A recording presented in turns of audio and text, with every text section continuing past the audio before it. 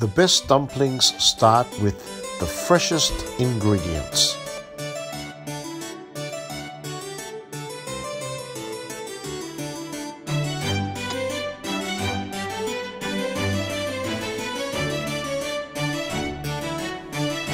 Firstly, our dumplings are steamed.